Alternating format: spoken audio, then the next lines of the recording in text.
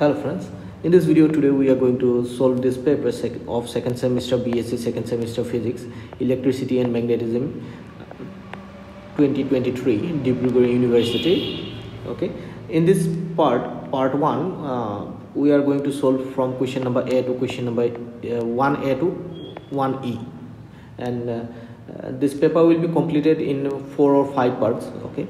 I'm going to upload one by one and before we start please subscribe the channel hit the thumbs up button if you like my videos and also share with your friends inspire me to create new contents for you. And uh, you may check my playlist uh, you know uh, for different courses uh, available in in this channel uh, like uh, you know classical mechanics laplace transformation differential equation and Fourier series etc so you may uh, check for those courses as well. So in different semesters uh, four different semesters there are different courses you can check. So let's start from the question number 1a so here is the first question you can see. So the correct option for from the following. So electric field lines equipotential uh, electric field lines and equipotential lines are always uh, this is the first option is correct. Always orthogonal okay and next question is if the free space between two plates of capacitor this is a suppose parallel plate capacitor if the two plates uh, this is filled with a dielectric substance with dielectrics then capacitance will be increasing capacitance will be increased.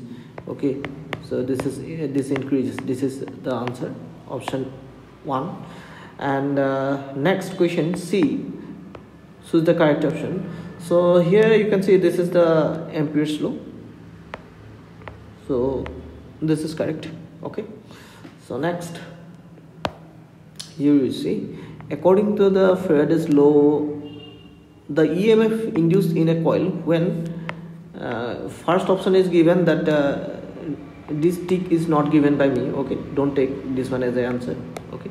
The coil is stationary and flux is changing with time that is also correct. Uh, if the coil is stationary if you uh, suppose uh, if you are bringing a magnet and uh, it is bringing to it and uh, uh, it is suppose coming towards the coil and going away from the coil continuously changing the you know magnetic fields magnetic flux link with this coil then also emf induced emf will be produced here. Emf if both the coil and magnet if uh, both the coils uh, both the coil and magnets are in motion the this coil this coil and the magnet both are in motion then also the magnetic field lines going to be changing uh, through this coil. And in that case also emf will be induced and that is why the correct option is this not this first one okay? So both 1 and 2 are correct okay? So this is your answer. So next question. So in parallel resistance circuit okay? Sorry not resistance. In parallel resonance circuits uh, in resonance circuit the impedance at resonance is maximum. This is the correct answer.